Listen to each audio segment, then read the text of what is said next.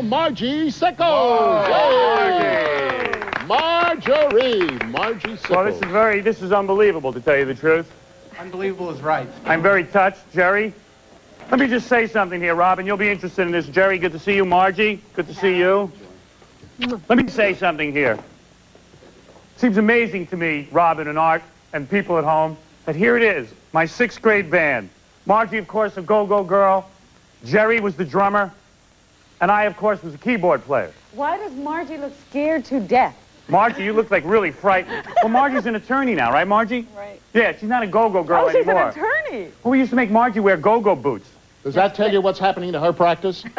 Hey, listen, Art, what's going on with your career? Come here for a second, really. Let's Tell me, talk I'm for a here, second. all Look at this guy. What Oh, the hell happened brother. to you? Come here. Come Hey, back Jerry. here, Art.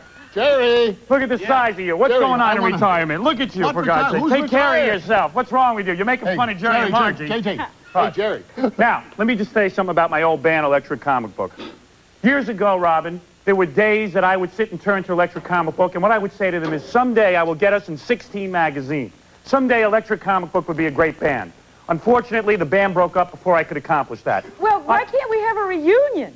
Yeah. A reunion of Could the you do one of your songs? Play I one could do, the sure, I melodies. could do Big that. hit. What I was could do that. I, I'd be honored. Margie, you gonna dance? Maybe a little. What are the chords to this? I forget. Now, you were the keyboard artist, yes, I was. and then Jerry played the drums. That's All right. Here we go. Here, let's hit it. Hit it, Jerry. You don't you remember how to do the opening of the song? No. Didn't you do a drum roll?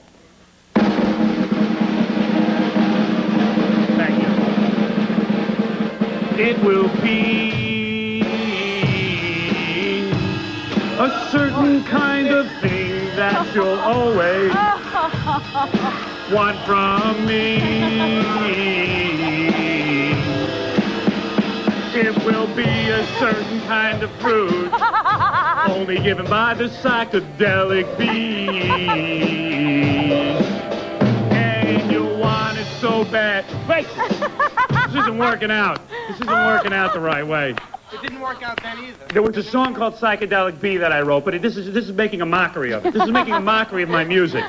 Oh, dear. No, I, I think it's making a mockery of it. This is this is a show gone amok.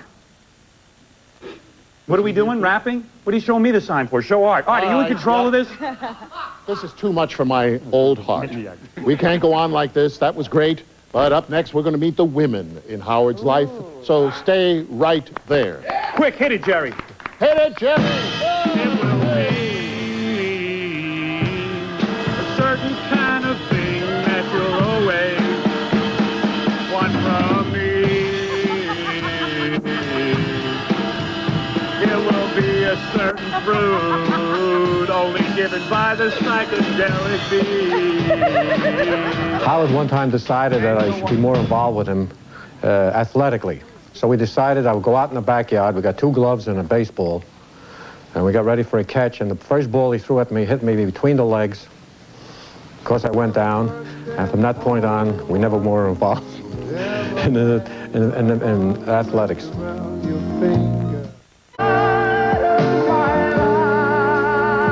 That was not the psychedelic bee, I'll tell you.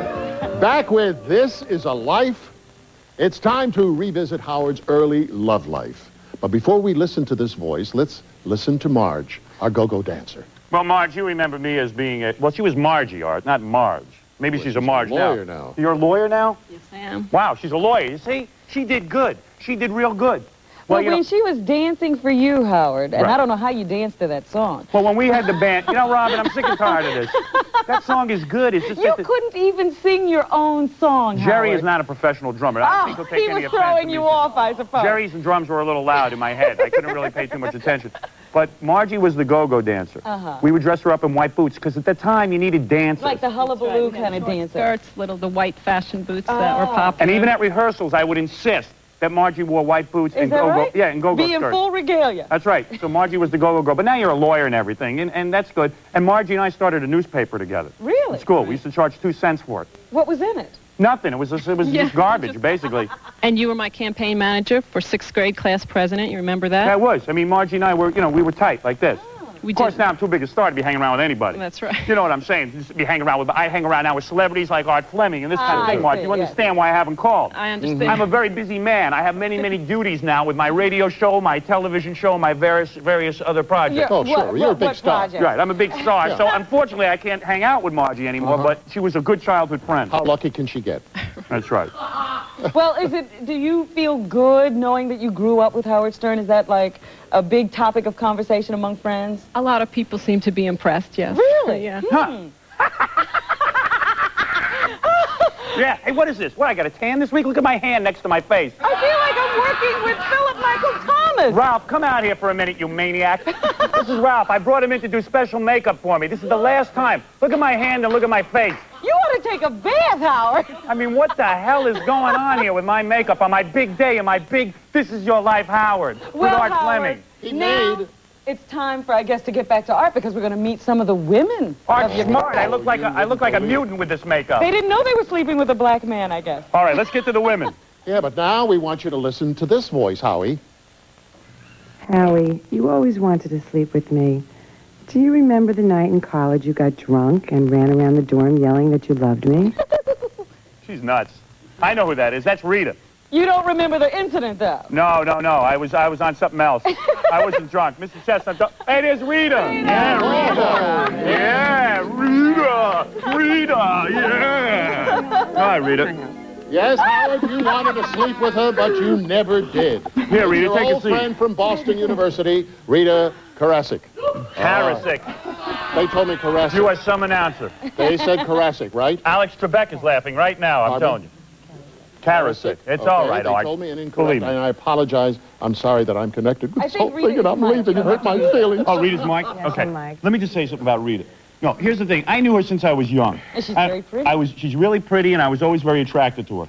To make love to her would have been an honor, Robin. But wasn't she the girlfriend of a good friend of yours? She was a girl. She was the girlfriend of my friend Dr. Lou Weinstein. Yes. And I would go over her house every day and beg her for sex. and she'd say, "Well, I'm going out with your best friend." I said, "He's not here now." and she never would have sex with me. A you true never would. Rita. blue friend. Rita, was there ever a time, seriously, that you ever considered actually sleeping with this yo-yo? No, ah! no, no, there wasn't. There was one time I got her up in her attic. I had heard from my friend that, you know, they went up there and they had intimate moments. They were just kissing and stuff. I was hoping for more. So I got you up to your attic, but you wouldn't do anything with me. I You thought the her. attic was the spot. I think you once kissed me, but I begged you for like an hour. Is that right? I don't remember. Tell everybody how sorry you are now that you never paid attention to me, because out of all the losers you you ever dated... it? What? Does she regret it now? Rita, tell everyone, please. Because think about Mrs. Howard Stern. All right, I'm not the most attractive guy, and probably if you, if you married me, if you had married me, you probably would have been miserable sexually your whole life because you wouldn't be with a man you were attracted to. But at the same point, Mrs. Howard Stern, TV show, this is all mine. Radio show, radio show. Do you ever regret it? Look at me, I'm not that bad. Except for my makeup I don't, and my nose. no, I don't. I don't regret it. You don't I regret don't. it. You I told me you did think I- about it. I, now I would think about it. She but- regrets it. She regrets it. Tell me, come on. Deep Compare, down. all right, compared to all the losers, seriously, all the loser guys. Look at me. I'm successful. There's Are another you loser. married now? All right, No, we're I'm going to be listening to another woman from Howard's past. We can't just devote it to just one lovely, charming, there are elegant more? lady. Oh, there are more and more and more. But we'll be back after this. Howard claimed on his radio show that he saw me dancing naked. And I I swear I'm not I haven't been aware of this at all. He must have been looking under my door or there must have been a crack. And if it did happen, I would have been around 10 years old and he would be about 5. So I don't know why he feels this is such a great story. What's so wonderful about it? But I guess for a 5-year-old to see somebody naked I guess he was excited about it. I don't know.